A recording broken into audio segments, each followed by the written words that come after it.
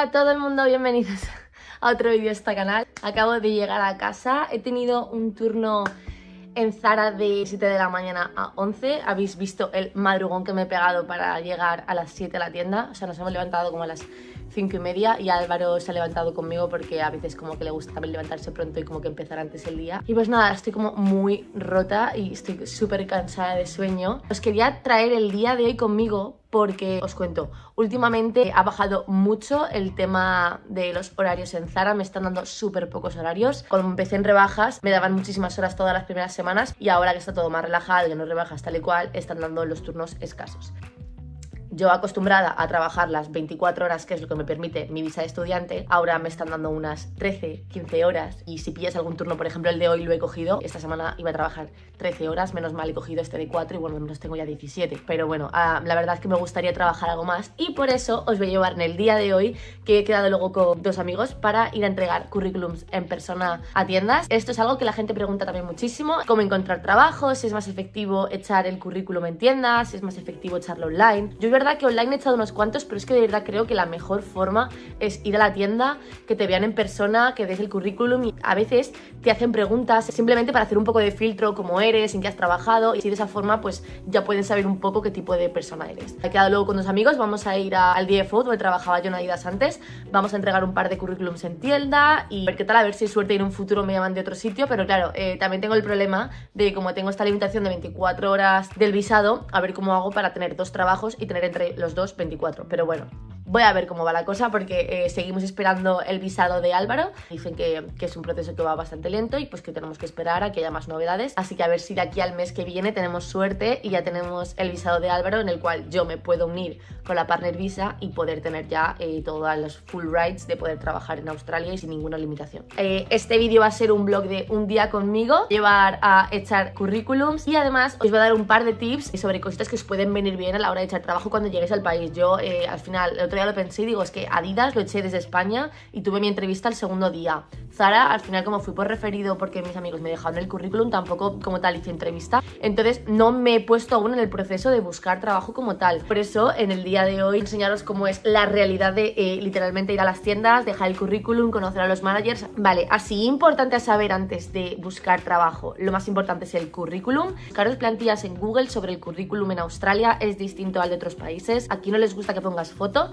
Y también importante que si por ejemplo estáis echando, en mi caso, a tiendas de retail, porque me he planteado a lo mejor eh, trabajar en cafeterías o restaurantes, pero como que no tengo experiencia y me da un poco más de pereza, como que retail, si me llaman de donde seas, como que me veo más con mis capacidades, habilidades y experiencia que tengo, me veo más capacitada pues como para coger cualquier trabajo nuevo. De cafetería y restaurante sería de verdad un challenge bastante gordo y no sé si me gustaría, entonces bueno, primero quiero intentar entrar en otra tienda de retail, que es más de lo mío. Entonces, si yo por ejemplo estoy aplicando a retail, meter toda la experiencia que tengáis relacionada con eso. Yo por ejemplo he trabajado eh, X días en una tienda en España, lo pones, o cualquier cosa que tenga que ver con customer service, con atención al público, que habéis estado trabajando en el extranjero de otra cosa, da igual ponerlo porque también valoran que tienes inglés de otros sitios, que mm, te desenvuelves bien en diferentes ambientes. Me gusta mucho también que pongáis los soft skills que se les llaman, que es pues teamwork, energética, que eres positiva, que en tu día a día te gusta mm, ser innovador, pues todo este tipo de cosas que al final no es tanto lo que tienes como currículum skills a lo mejor técnicos, sino más cómo eres tú en tu día a día, cómo eres tú como persona. Luego también súper importante,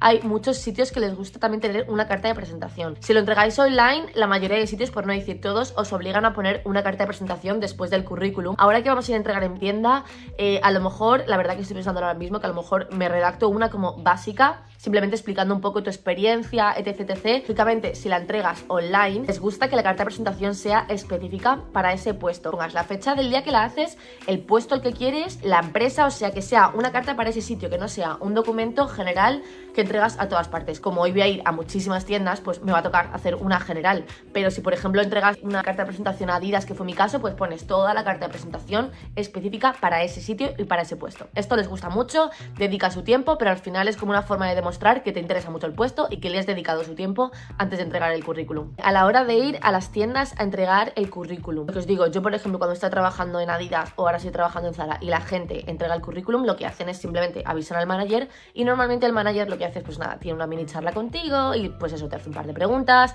te pregunta qué tipo de contrato quieres porque puede ser casual, part-time o full-time. Los casual, que lo he explicado alguna vez, es un contrato que simplemente tú pones tu disponibilidad y ellos solo te pueden dar trabajo en esos días. ¿Te quieres ir de vacaciones? Hasta luego, Mari Carmen. Ellos solo te van a dar trabajo cuando tú quieres. Está genial porque al final tú tienes y tú decides cuando trabajas, pero es un poco mierda en mi caso ahora mismo porque si tú pones muchísimos días y lógicamente hay unos full times antes que tú le van a dar trabajo a los full times, sus horas son sí o sí establecidas, antes que a ti que eres un casual que no tienen por qué darte horas. Es algo bueno y algo malo. Ellos no están obligados en ningún momento a darte horas y eso lo pone en el contrato, es un poco mierda, pero si tienes suerte y llegas a una tienda como yo al principio Adidas, donde sí o sí siempre te daban tres días, la verdad que es, es un lujo porque te aseguras siempre que cobras como un casual, porque el salario también es mayor en casual que en full time, pero claro, no es así en todas partes. En plan, yo en Zara, pues eso, en plan, sí, está genial, pero no me están dando horas, entonces no me está valiendo de mucho cobrar más que un full time. Una vez estás ya en la tienda, luego lo veréis igualmente, os contaré un poco todo el proceso, cómo nos va, etc. Vas, eh, preguntas por el manager que quieres entregar el currículum y le dejas eh, el currículum o la carta de presentación que tengas o específica para la tienda, porque a lo mejor es una tienda que tienes muchas ganas de ir, o una carta de presentación tuya simplemente explicando tu background, tu experiencia, dónde has trabajado, dónde vives, porque quieres trabajar en, en retail o en cafeterías o en restauración, donde queráis. Es algo importante tener en cuenta. Y algo que también me han preguntado mucho, ¿da para vivir con lo que trabajas? A ver, yo todos los meses que llevo aquí viviendo con mi estilo de vida compartiendo piso con una persona y pues con nuestros gastos que tampoco son muchísimos pero me está dando para hacer viajes, yo diría que sí, si tienes 24 horas te da para vivir. Depende lógicamente de tus gastos. Es que yo sé, por ejemplo, en Australia hay una mentalidad totalmente distinta al menos a la que yo tengo, o al menos cuando cobro tengo mi dinero y ya luego pienso en qué me puedo gastar el dinero. Aquí muchísima gente lo que me ha dicho es, tengo mis gastos, que ya sean, pues a la gente le encanta hacerse las uñas, las pestañas, como todo un proceso de gastos de dinero, que aquí esto es carísimo, la peluquería, tienen unos gastos mensuales fijos y tienen que ganar horas para poder pagarse esos gastos.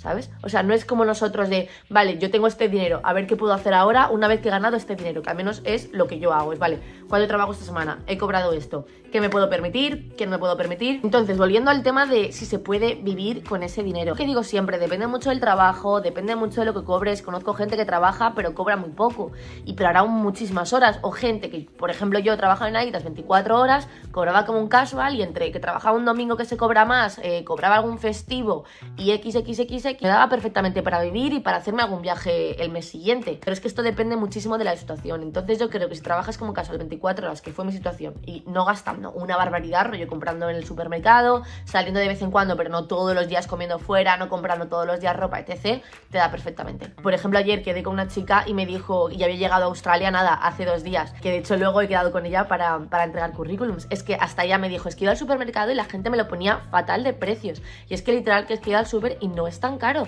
En plan, encuentras cosas súper bien de precio y no hay tantísima diferencia con España. Lógicamente, al cambio nos viene mejor, pero no por eso eh, va a ser más caro. O sea, con el salario que hay aquí da perfectamente para pagarte tus gastos, la comida y todo lo que quieras pagarte. No es tan heavy como para no poder permitírtelo una vez trabajas aquí, ¿sabes? Así que bueno, espero que todo esto os haya ayudado. Tampoco es que pueda contar muchísimo de esto porque lo que os digo, en plan es mi primera vez entregando como tal currículums en tienda. Todo lo que he contado hasta ahora eh, respecto a esto es por gente que me ha dicho y me ha contado su experiencia. Esperemos luego tener suerte. Son las 12 de la mañana, me voy a hacer luego algo de comer. No sé qué me haré, la verdad. Últimamente me está dando mucho por hacer como desayuno, pero en comida. O sea, me haré rollo una tosta de aguacate con huevo o algo así, es lo que mejor me entra, porque el típico plato grande luego es como que me quedo planchada. Tengo que hacer un par de assessments de la universidad para variar, que tengo ya unas ganas de quitármelo de encima horrible.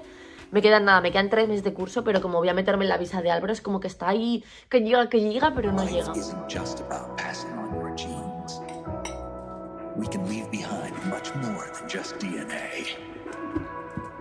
Through speech, music, literature and movies, what we've seen, heard, Bueno, a ver si controlo este flequillo. Nada, me ha puesto blanco y negro. La mejor siempre es básica si vas a hacer rollo entrevistas o entregar eh, currículum, que vayas lo más decente y normal posible. Bueno, cada uno vaya como quiera, ¿no? Pero yo tengo la mm, teoría de que cuanto más sencillito a una entrevista o mm, a un futuro jefe de trabajo, pues mejor. Así que nada. Desearnos suerte.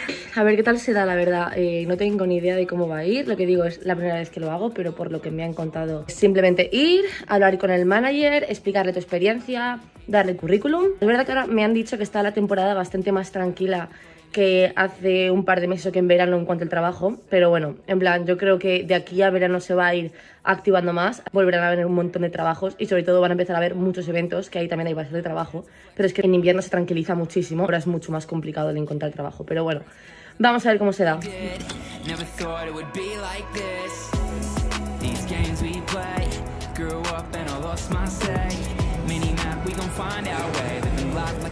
Vale, he venido con Alex y con Laura, que Laura acaba de llegar de España, por lo que podéis ver, porque está negra. Y estamos aquí en búsqueda de trabajo. ¿Qué tal ha ido? Hemos empezado a echar currículums, la verdad que sin mucho éxito. Hay tiendas que ya acaban de cerrar el proceso, con lo cual no están cogiendo. Otras, el manager no está en ningún lado, no en ninguna tienda. Así que de momento un poco me como el culo. Que vamos a ir dirección centro de la ciudad a por más tiendas.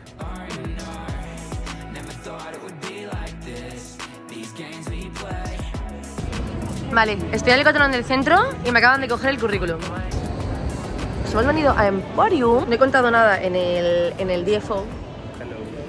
Pero nada, hemos entrado a un par de tiendas y la mayoría de sitios nos han dicho que apliquemos online, que seguramente a partir de octubre como que empieza todo el tema de las navidades y está lo de los Christmas Casuals, entonces ahí como que seguramente haya más eh, oportunidades. No ha habido mucha suerte y por eso estamos en el centro, así que bueno, está más jodido de lo que pensaba, pero bueno, nosotros seguimos intentándolo. Nuestra recompensa por no encontrar trabajo.